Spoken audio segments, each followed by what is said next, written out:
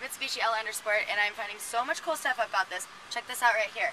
Okay, first of all, you can shift, but we're gonna hit the highway and use the paddle shifts.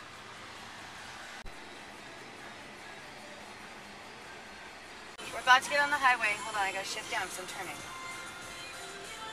Here we go. I'm excited for this. Here we go.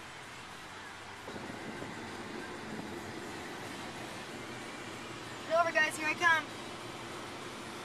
Should we open this? Oh, hey, look at that. Now this is a road trip. You know, some cars will look really uncomfortable when you take road trips. Not this one. It's quiet. It's nice. Unlike that guy's truck, I bet it's so loud and it stinks. This doesn't stink. You wanna go to Columbus? I'm in the fast lane still. It's not the passing lane, it's the fast lane.